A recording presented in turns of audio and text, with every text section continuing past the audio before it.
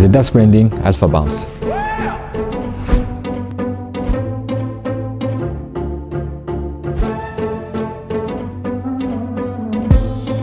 Гутлын бүтцийн хувьд континентал хэмэх юм технологиор хийгдсэн энэ нь үл хальтрын мөн дээрээс нь илэгдэл багтай. За дунд уулын хувьд бол bounce материалтай. Энэ материал нь таны хөлний үлмий болон өсгийн дээр ирэх ачааллыг багасгадаг.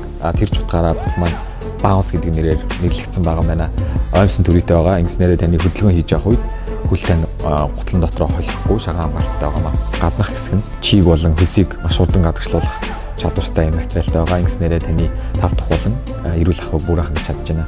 Adidas брендийн Alpha Bounce нь энэ оны шинэ загвар байгаа. За энэ гутлын хувьд бол бүх төрлийн спорт болон өдөр тутмын өмсгөлд энэ тохиромжтой.